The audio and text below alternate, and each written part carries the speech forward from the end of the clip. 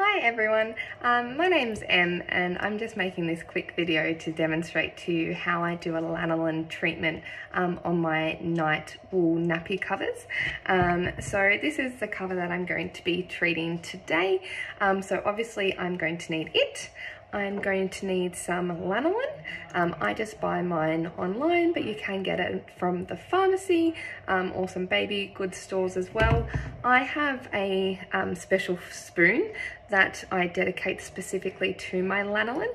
Um, if you've used lanolin before, you'll know that it's quite sticky and tacky and very hard to remove. So rather than um, use utensils that I have for other things, I have just one that I dedicate to it and it's really cute and fun. So yeah, I just buy pure lanolin um, and that's what I use. Um, to do a lanolin treatment, um, I also recommend that you have some soap.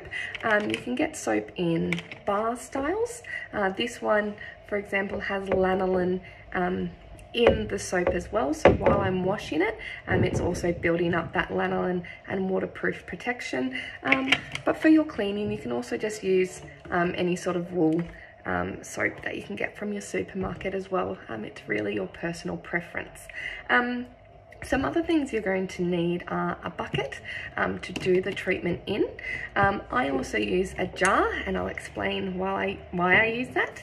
Um, and I also have a tea towel on hand um, and boiling water as well. Um, I'm also at my sink at the moment, um, so I have access to cool warm water there. So the first thing that I do, and just to preface this, this is just the way I lanolize um, my wool covers.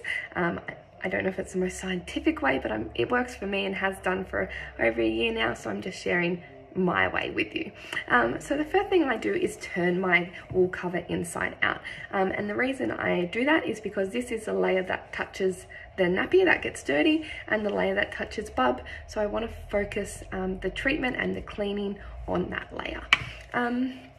Um, if it's a brand new nappy uh, cover, you won't have to clean it. Um, you'll just wet it with um, cool, lukewarm water. Um, really avoid using hot water on your wool products because it can damage them.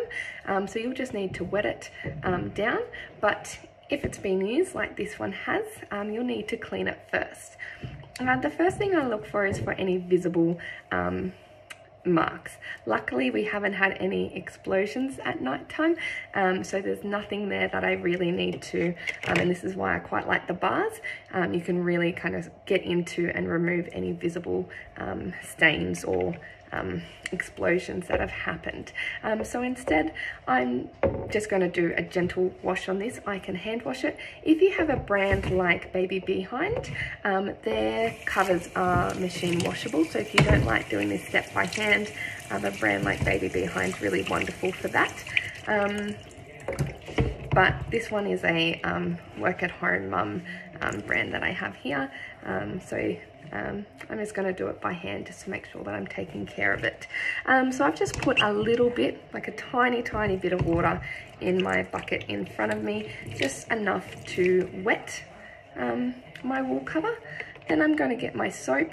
It's not very dirty. I haven't used it for too long, so I'm just going to very gently wipe it a little bit on one side, turn it over, put a little bit of soap on the other. That's all, not much. Um, and then I'm just really gently going to kind of mush it and work it and give it a really gentle, soft clean.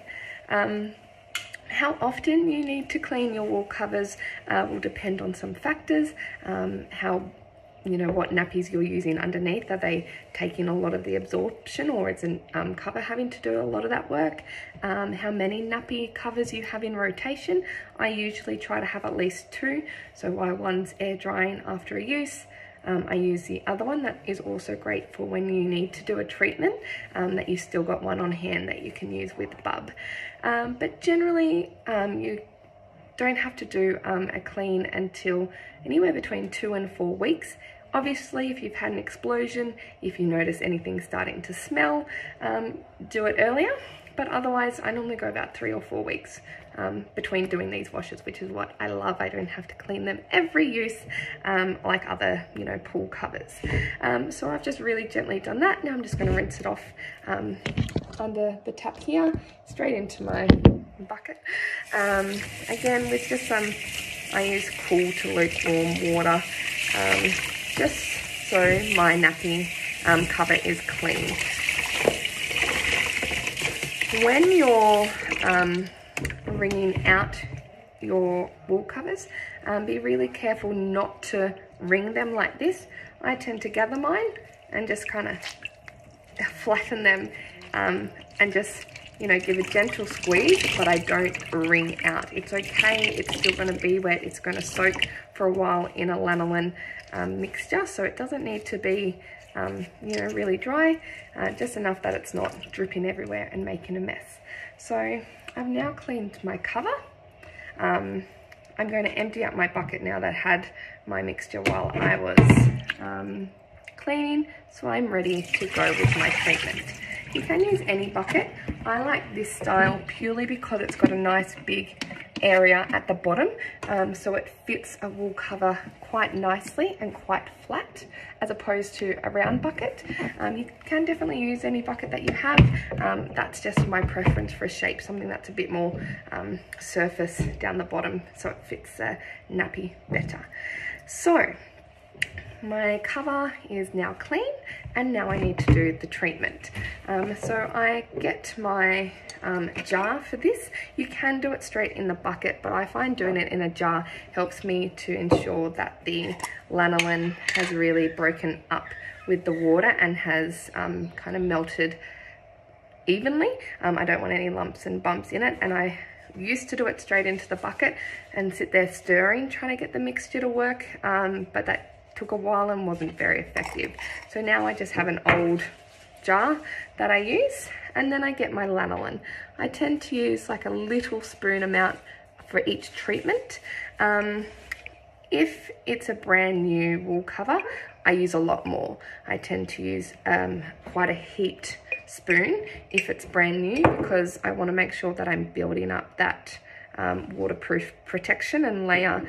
Um, but once you've got that established, it really just needs a top up each time that you clean it. So I've mushed all my lanolin, it's very sticky, in there. And now I get my boiling water, just a little bit, and pop it in there. Um, then I have a tea towel on hand. I found that when I shake it, uh, because of the heat, it tends to expand a little bit and can spray. So I just get my tea towel to protect any bits that might come out. Did you hear that? and I just give it a really rigorous shake. And you'll see that that water is starting to change colour as the lanolin is melting and um, mixing into that water. So I also like being in the jar that I can check for any visible bits of lanolin left. This is just label that I can't get rid of, but my lanolin is now completely melted in there and I'm ready to go. So all I do now is tip that directly down into my bucket and then I add some um, other lukewarm water to it. I usually add only about a centimetre, centimetre and a half, two most um, because the more water that's in there, the more diluted the lanolin is. So we want just enough that the wool cover can sit um, in it. So I'm going to pick up this now and turn it around for you to see. So I have now my mixture of lanolin and some just lukewarm water. I've stirred it all up. And now I grab the cover and I simply push it in. Um, for me, I tend to always have these little spots of lanolin. Um, that never seems to stain or um, leave any residue once the treatment's finished, so I just leave it. I push it down so everything is being absorbed, flip it over and do the same. Um, and then I will just leave it there. So you want to leave the wool cover in there for at least um, half an hour to 60 minutes. Um, but I find it's best to leave it overnight. The longer that it's in there the more lanolin that it can absorb from that water. Just gonna wash my hands. Um, it is very sticky on your hands after so just be aware of that. Um, that's just the nature of the lanolin. Um, so I will leave it in there usually overnight. Um, and say it's you know just lunchtime now before I go to bed, I will go and just flip the wool cover over so the other side's definitely getting um, all the absorption as well. Um, when in the morning, when I want to take it out, again, I don't want to wring it because that's going to damage it. So I'll just, again, squeeze. Um, but I usually grab a tea towel. Sorry, I just tried my hands on this one, so it's a bit wet. But I will get an old tea towel, lie the wool cover there, and just roll it. And once I've rolled it, then I can give it a squeeze, and that will just absorb a lot of the um, moisture from the wool cover um, more effectively and more gently than you squeezing and um, at all wringing it. Please don't do that. So I just wrap up the wool cover in a tea towel, give it a little squeeze. The tea towel absorbs a lot of that liquid. Um, and then you want to lie your wool covers flat. You don't want to peg them or hang them over um, your wires, your clotheslines, um, because the weight of the wet wool um, might distort it and might damage it. So you want to lie it flat and let it to dry inside out. Um, sometimes if I, I might also turn it back in the right way just to make sure that the inside, well the outside um, is really dry as well. Um, so that's how I do my treatments. Um, I hope that helps. Um, I really love wool covers. They are my preference. We've tried PUL covers before for me and my bub. Um, we just find the that many gussets in around the legs um, can be a bit uncomfortable and, and I just like how soft um, and the short style of the wool covers. Um, it just tends to move some of that away from the undie line um, and give, yeah, just nice soft.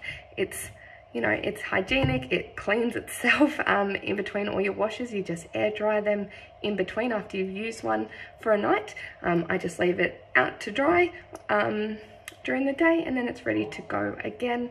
Uh, keeps bub cool in summer and warm in winter, all those beautiful natural properties of wool.